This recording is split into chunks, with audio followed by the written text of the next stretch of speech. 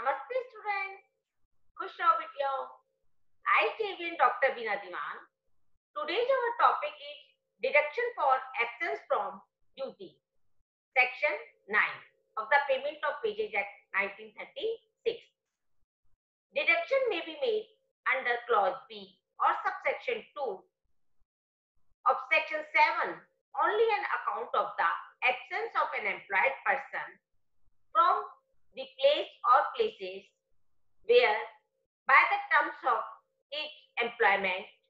he is required to work such absence being for the whole or any part of the period during which he is also required to work. The amount of such deduction shall in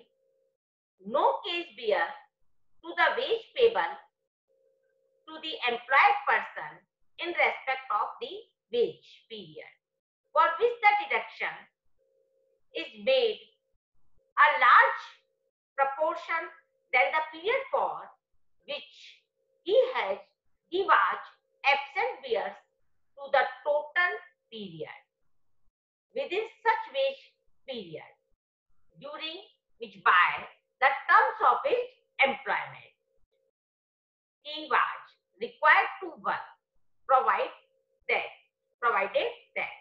subject to any rules made in this behalf the appropriate government if 10 or more employed persons acting in concert absent themselves uh, without due notice.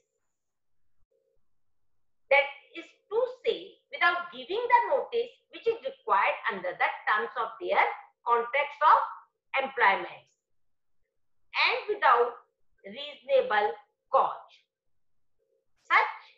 deduction from any such person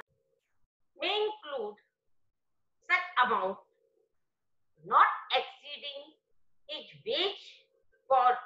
eight days as may be any such terms be due to the employer in lieu of due notice. समझ में आ गया आपको तो इस तरीके से उसका deduction होगा on the duty right if you have any doubt you can write your comments in comment box thank you thank you so much